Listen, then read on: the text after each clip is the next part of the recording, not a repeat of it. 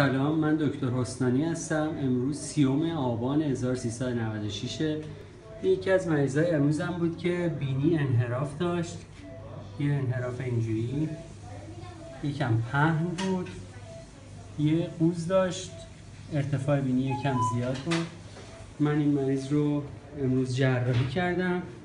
این نتیجه جراحیشه که ارتفاع بینی کم شده. سوراخ‌های بینی مساوی شده و انحراف بینی هم کاملا اصلاح شده.